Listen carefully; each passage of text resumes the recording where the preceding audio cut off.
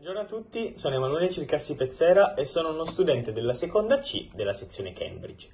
Sono qui per parlare un po' di quello che succederà e di quello che farete se deciderete di iscrivervi a questa sezione.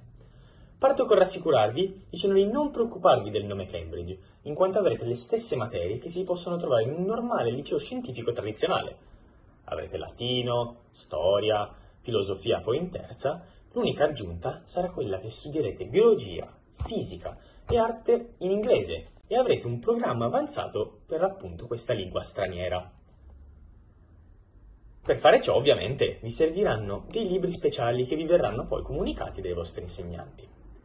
Come potete immaginare, avrete verifiche e interrogazioni di queste materie in inglese. Tutto questo però per prepararvi al meglio a quelli che saranno gli esami che avrete in terza per quanto riguarda biologia e fisica e in quarta per quanto riguarda arte e inglese. Ora, per entrare a far parte di questa sezione non serve essere dei geni, l'unica cosa che dovrete avere è una grande forza di volontà, tanta voglia di sacrificarsi, tanta curiosità e un grande amore per appunto la lingua inglese. Fate la vostra scelta e spero di vedervi l'anno prossimo.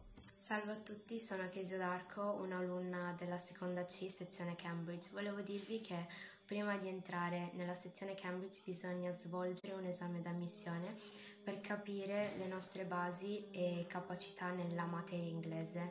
Uh, facciamo quattro materie in inglese, ovviamente inglese che ci insegna le, le regole grammaticali della lingua e trattando argomenti attuali, per esempio parlando della natura, moda o anche argomenti scientifici.